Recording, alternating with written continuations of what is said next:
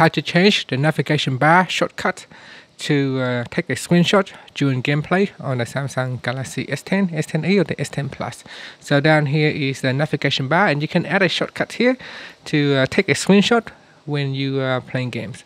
To do that, first tap on the home key to go back to your home screen. Then uh, next, launch a game that you want to play.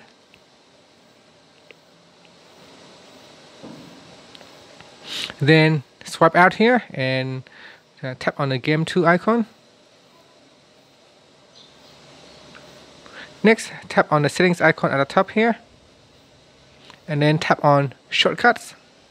And then you want to change to uh, screenshot. And you can see that the icons changes.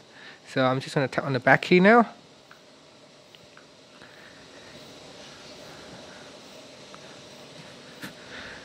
So now you can see here there is a screenshot uh, shortcut on the navigation bar. Oops, I pressed on the wrong key. So I'm just trying to take a screenshot. So tap on that screenshot button and a screenshot is taken uh, immediately. So that shortcut is quite handy, allowing you to quickly uh, capture the screen. Uh, for example, if you um, win the games, or if you got a victory royale, or if you you know got a very high score, you want to capture that screenshot, and that uh, shortcut is really helpful uh, on the navigation bar. And that's it. Thank you for watching this video. Please subscribe to my channel for more videos.